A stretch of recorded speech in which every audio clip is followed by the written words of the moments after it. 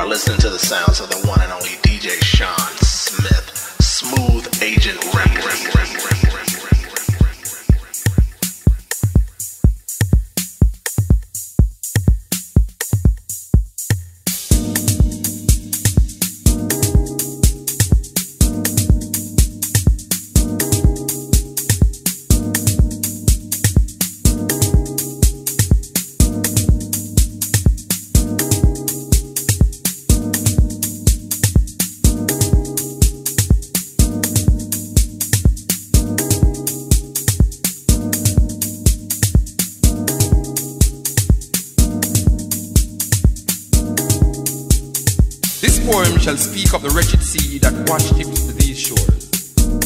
mothers crying for their young, swallowed up by the sea. This poem shall say nothing new. This poem shall speak of time, time unlimited, time undefined. This poem shall call names. Names like Lumumba, Kenyatta, Nkrumah, Hannibal, Atherton, Malcolm, Garvey, Haile Selassie. This poem is vexed about apartheid, racism, fascism, the Ku Klux Klan, riots in prisons and Atlanta, Jim Jones. This poem is revolting against first world, second world, third world division, man-made decision. This poem is like all the rest. This poem will not be amongst great literary work, will not be recited by poetry enthusiasts. It will not be quoted by politicians or men of religion. This poem is knives, bombs, guns, blood, fire, blazing for freedom. Yes, this poem is a drum. Ashanti, ma, Igbo, Yoruba, Nayab, Nayab, Nayab, Warrior, Yohuro, Namibia, Yohuru, Yohuru Soweto, Yohuru Africa. This poem will not change things. This poem needs to be changed. This poem is a rebirth of a people, arising, rising, awakening, understanding. This poem speaks, is speaking, I've spoken. This poem shall continue even when poets have stopped writing. This poem shall survive, you, me. It shall linger in history, in your mind, in time, forever. This poem is time, only time will tell. This poem is still not written. This poem has no point. This poem is just a part of the story. This story, her story, our story. The story is still untold. This poem is now ringing, talking, irritating, making you want to stop it. But this poem will not stop. This poem is long, cannot be short.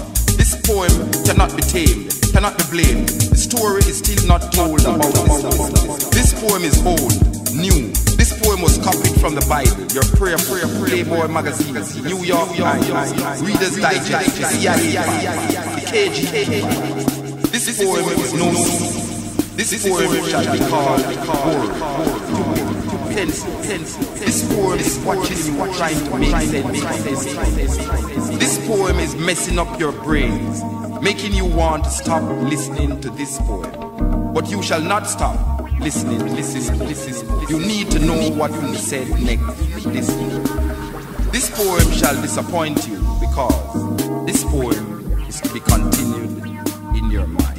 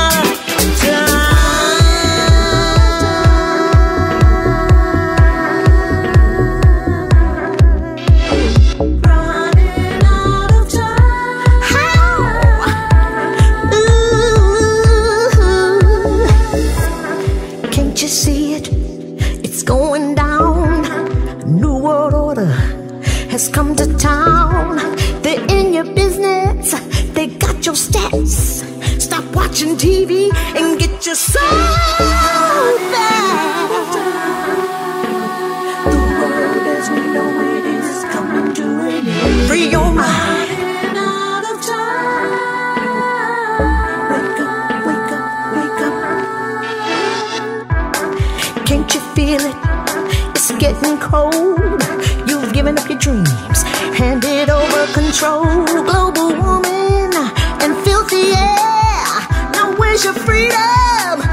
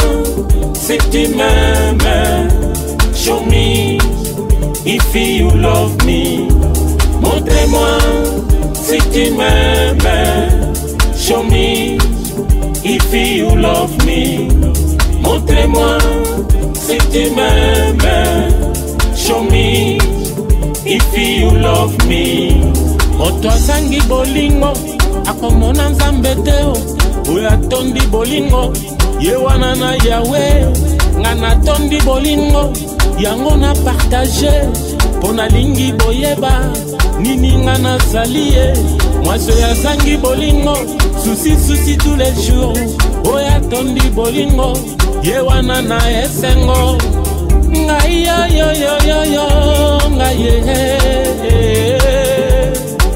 nalelalelalelala motema si tu meme show me if you love me montre moi si tu m'aimes, show me if you love me.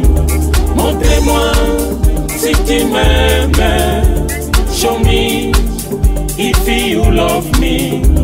Montrez-moi si tu m'aimes, show me if you love me. Ba mama e ba nyango e ba chérie, bolingo euta nzambe. natumwa nzambe tolingana toyoka na tombola na tomina eh. miziki kitoko oya biyoyo tolingana toyongana toyongana tosangana eh. bolingo kitoko bolingwa nzambe o oh. bana mayo ebongi tolingana oyo azangi bolingo mawa na ye bana mayo ebongi toyokana totana bolingo mawa ye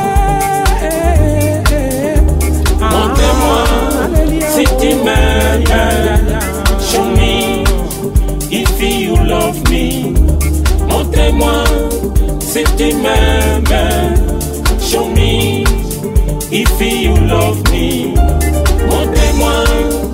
city meme.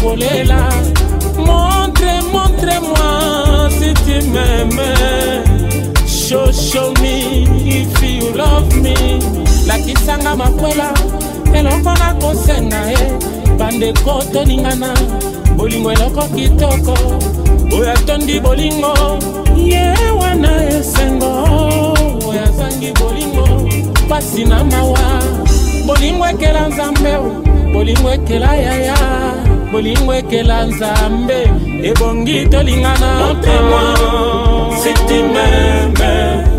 show me if you love me Montez-moi tu même show me if you love me c'est tu même show me if you love me papa bana ye balakisaka bango se bolingo ye soki batondi bolingo mokili ebongi bongo mokili oyo ya nzambe esengi tolinga na ye angola zimbabwe namibia botwa na ye south africa mozambique lesutu na zambia union fait la force union fait la force ebongi tolinga na ye tozali baafrikain drc congo gabon cameroun nigeria égypte maroke etiopi union fait la force union fait la force ebongi tolinga na ye tozali baafrikain motemoi sikimeme show me if you love me. Montrez-moi si tu m'aimes. show me if you love me. Montrez-moi si tu m'aimes. Show me if you love me.